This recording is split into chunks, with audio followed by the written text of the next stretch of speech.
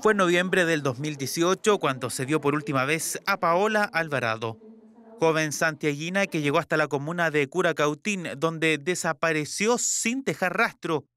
Familiares, amigos, policía de investigaciones y bomberos han sido varios los organismos que la han buscado en el cauce del río Dillo, lugar donde el único detenido en la causa dijo haberla lanzado.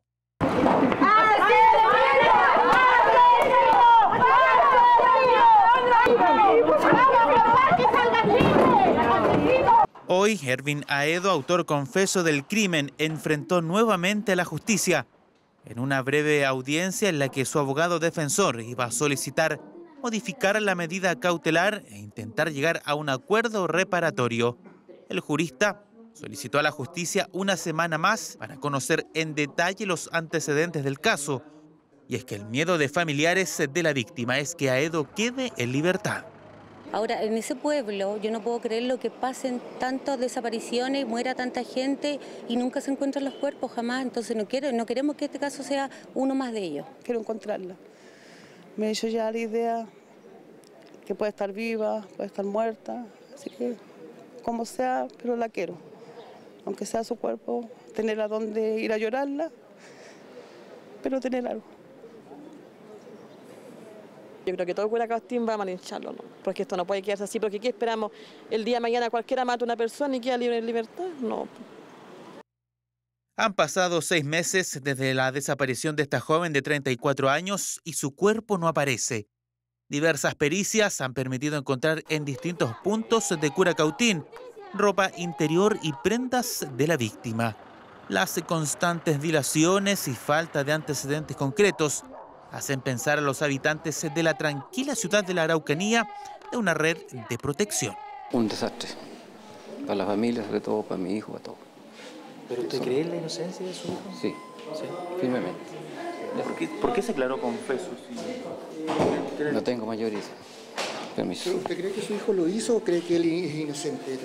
no, mi hijo inocente, ya, gracias. No sé si puede ser una, una especie, que quizás a lo mejor, no sé, me da lata decirlo, pero puede ser una especie de red o algo, porque ya es demasiado y siempre son como el mismo prototipo, jóvenes, delgadas y de poca edad. Tuvieron una vuelta con dos, como dos semanas con pruebas que pillaron en el fondo arriba y no, el fiscal no las recibía, que esas no eran pruebas, decían, y eso. Si este tipo nos dice que está en el río Dillo, que es un lado sur, y todas las pruebas que se han encontrado ha sido en el lado norte, en el fondo, aquí hay algo raro. Si es que no está en el fondo, porque él dijo que la mató en este lado? ¿Por qué las pruebas están allá? ¿Por qué los celulares están allá? ¿Por qué hay ropa interior allá? ¿Por qué hay condones allá? ¿Ya? ¿Por qué hubo pruebas de pelo allá? Finalmente, el Tribunal de Curacautín decidió dar siete días a la defensa de Aedo para que pueda conocer en detalle la carpeta investigativa. Lo grave, a juicio de familiares de la víctima, es que los antecedentes podrían dejar en libertad y libre de cargos al imputado, al menos hasta que aparezca el cuerpo de Paola Alvarado. Una persona no debe ser condenada con su sola confesión. Por eso es que, y eso, y eso rige casi en todo el mundo, es así.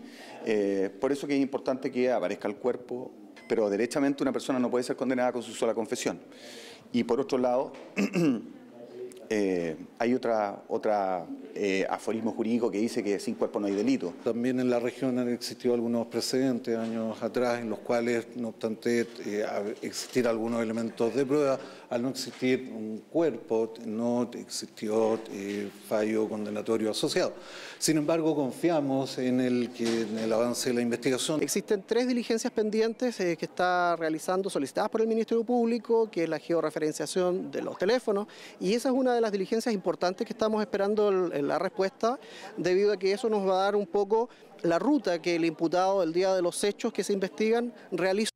El próximo martes a las 10 de la mañana se conocerá si el caso termina en acuerdo reparatorio o si el Ministerio Público solicitará ampliar el plazo de investigación para seguir con las indagatorias y dar con el cuerpo de la joven desaparecida prueba crucial con la que Ervin Aedo podría ser acusado del delito de homicidio, arriesgando una pena que podría llegar a los 15 años de cárcel.